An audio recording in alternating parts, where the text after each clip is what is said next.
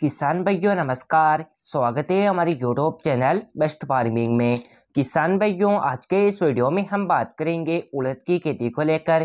किसान भाइयों, जब उड़द की फ़सल 50 से 60 दिनों के अंतर्गत होने पर उड़द की फ़सल में कौन सा स्प्रे करना चाहिए, ताकि पौधे की अच्छी तरह से ग्रोथ भी हो, पौधे में पीलापन भी ना आए पौधे में और किसी भी प्रकार की बीमारी भी ना हो, जिसे उड़द की खेती से ज़्यादा से ज़्यादा मुनाफा लिया जा सके। किसान भाइयों, इस वीडियो में हम N P K double zero बावन चौंतीस के स्प्रे के बारे में बात करेंगे।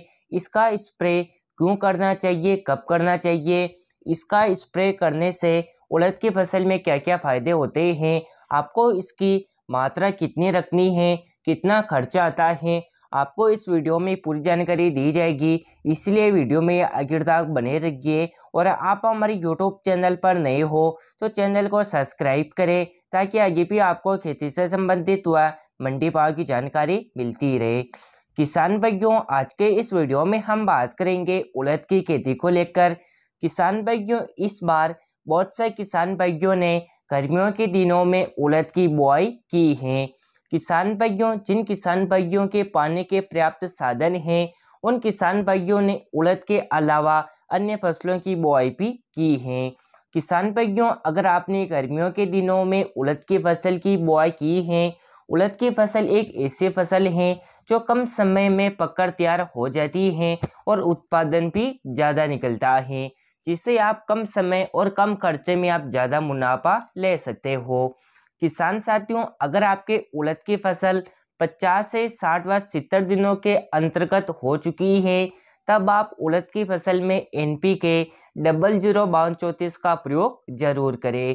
किसान भाइयों, इसमें टेक्निकल की बात करें तो इसमें बावन प्रतिशत फास्फोरस की मात्रा दी गई है और चौंतीस प्रतिशत पोटास की मात्रा पाई जाती है।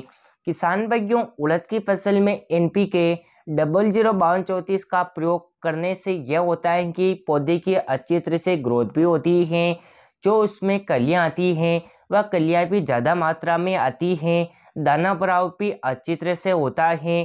किसान भाइयों और भी कई प्रकार के फ़ायदे आपको देखने को मिल जाएँगे। इसलिए किसान भाइयों, आप उड़द की फ़सल में N P K double zero बावन चौंतीस का स्प्रे ज़रूर करें।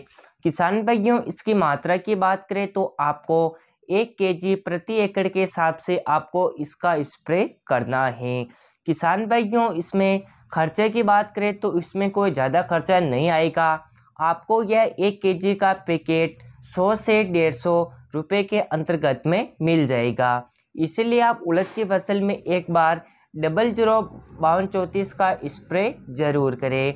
अगर आप इसका स्प्रे करने वाले हो तो आप एक बात का विशेषकर ध्यान रखें किसान भाइयों, खेत में नमी होना बहुत ही ज़रूरी है।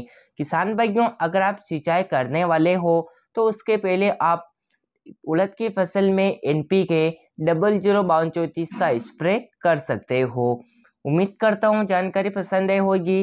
वीडियो को लाइक अपने किसान साथियों के साथ शेयर करें।